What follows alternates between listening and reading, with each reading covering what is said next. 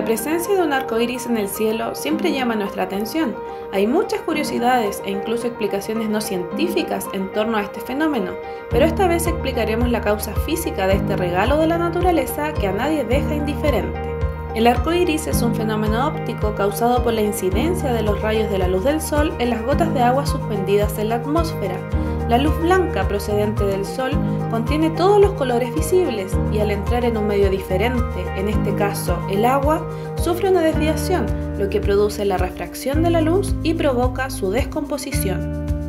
El arco iris es un gradiente continuo de colores espectrales, pero se define en siete colores representativos, ordenados de violeta a rojo, donde el color rojo se encuentra hacia el exterior y el violeta hacia el interior. También puede suceder la aparición de un arco iris doble, en donde se observa un segundo arco externo más tenue pero con los colores invertidos.